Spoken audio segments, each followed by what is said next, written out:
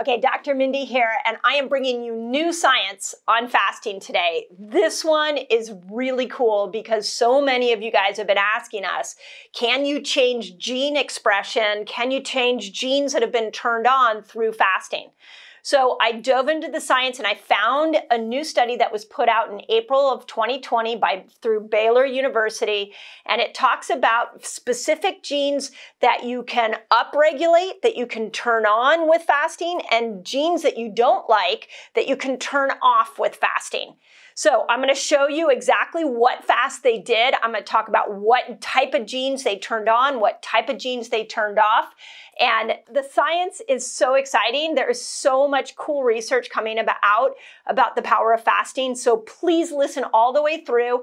And then as always, I put these studies in the notes. So go find the notes. This is the kind of stuff you take to your medical doctor and you show them so you can start educating them on just how powerful the body is when you tap into your own intelligence and you take food out of the equation. And in this study, you're going to see they took one other thing out of the equation that created this type of reaction. As always, I hope this helps. If you are new to my channel, subscribe. If you love this information, please send it out into the world. I am trying to empower people to believe in themselves again, and nothing will make you more impressed with your own inner healing than fasting. So enjoy.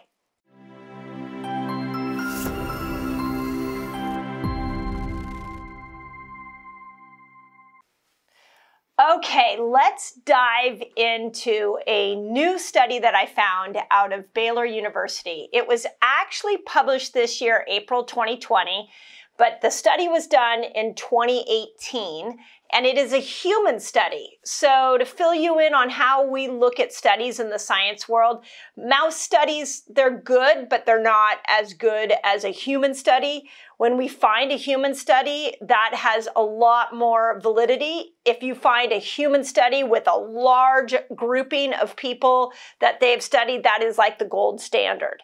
So, this was actually a 14 person study done out of Baylor University and it was on the genes that get turned on and the genes that get turned off when you intermittent fast.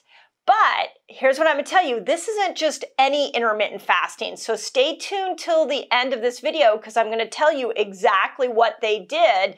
This is a different twist on intermittent fasting. So let's dive into it. Let's start off with this. There were 14 uh, subjects that they looked at, 13 were male and one was female.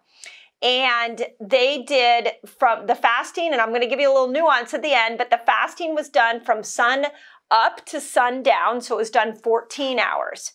And the important thing to understand is that these genes were turned on and the harmful genes were turned off, even if the person didn't lose weight. So I want you to really grab that because so many people come to fasting to lose weight, but there are so many other benefits that if you're not focused on it, you may miss out on all the other cool chemical changes that are happening in your body.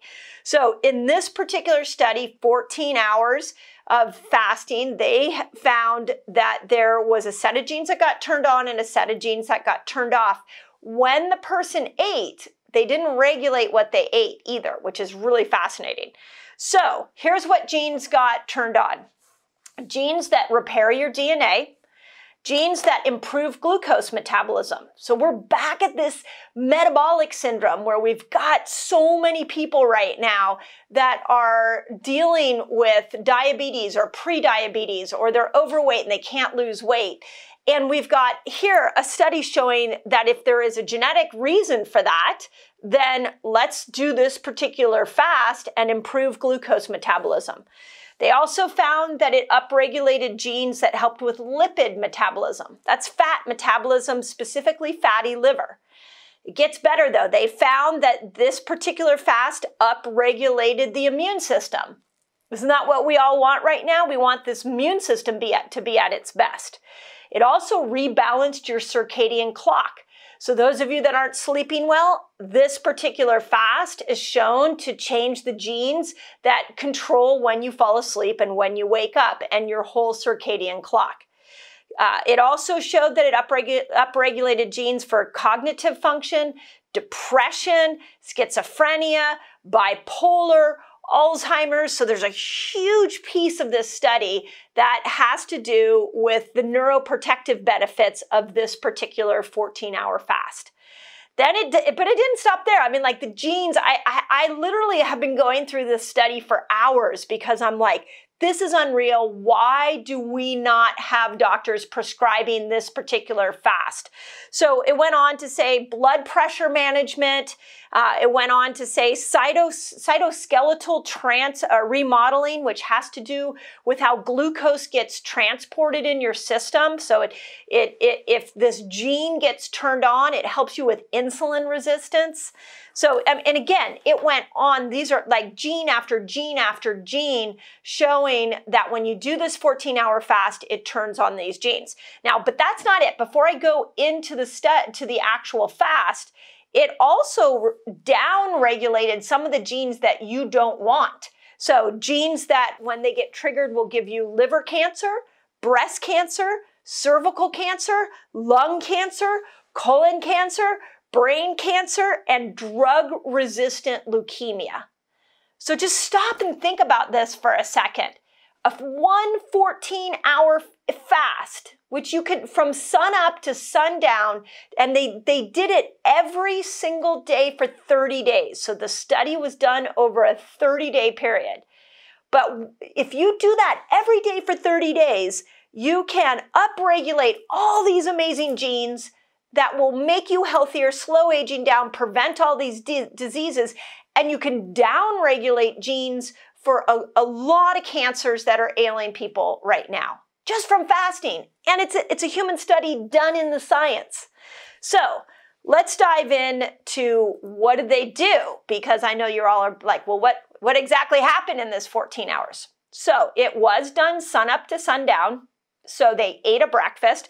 I'll actually read to you what they said that the daily fast began at dawn with a pre dawn breakfast and it ended at sunset with a dinner for 30 consecutive, consecutive days.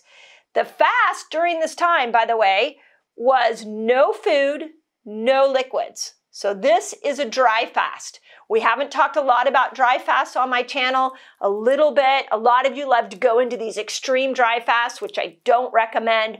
But here we go. We have a 14 hour dry fast that these people did. So no snacks, no food, no liquids, no water, nothing for 14 hours.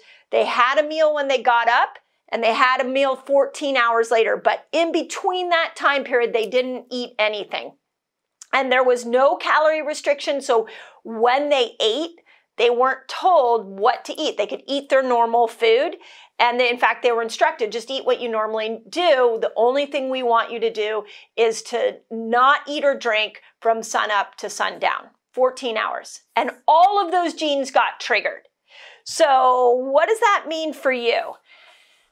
I, I come back to this key piece of health that we've got to start using fasting as a tool to heal ourselves.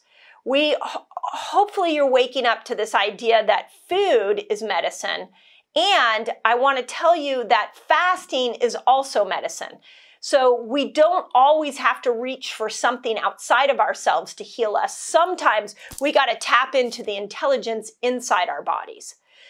The other thing I, I bring this study, other than it's just a new study and it's really exciting to see that we can have these gene expressions change, I bring this to you because on my channel here, I am focused on teaching you guys how to build a fasting lifestyle. So the goal with fasting isn't just to do the same fast over and over and over again. The goal is to look at I've created what what I've laid out here on uh, through science is seven different fasts. One of those fasts is a dry fast. And up until this study, I've been telling you guys 12 to 24 hours for dry fasting. I've been talking a lot about how dry fasting can support BDNF, which is like brain fertilizer. I am here to tell you that I'm adding gene expression, turning certain genes on, turning genes off to my dry fasting list. So if you have not dry fasted in a very long time or ever, this would be a good reason to start. So it is 14 hours, dry fasting. Now, I know you're probably thinking what I'm thinking, which is, well, what if I just stop eating or drinking at eight o'clock at night and then I don't eat or drink anything till 10 the next morning? That would be 14 hours.